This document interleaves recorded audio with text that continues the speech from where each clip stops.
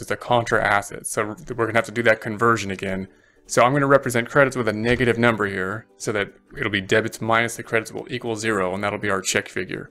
So this is gonna be uh, 110,750 and this is gonna be a credit negative 95. And now we'll do the same math. It's subtracting these two out. We can see from this year to this year, of course, it went up, but it went up in the credit direction. So we just got to get we got to get used to the which way things are going, and there's no getting around that uh, when we're working with debits and credits or the math of plus and minus. We got to know which way things are going, either using the accounting equation or debits and credits. It's easier once we set up the system to do it this way with debits and credits uh, within Excel because then everything will kind of go the same way, and I, I hopefully I'll you know be able to prove that to you as we go.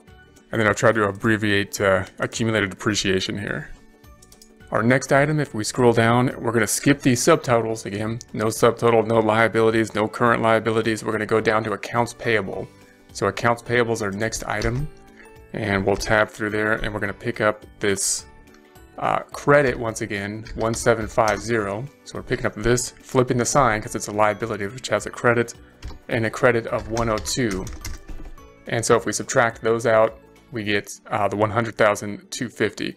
So it, could, it went way down, but it went down in the debit direction. So the difference is decreased in the debit direction. Then we've got short-term notes payable. So short-term notes payable, our next item. And once again, that's going to be a liability. So it's credit 15,010.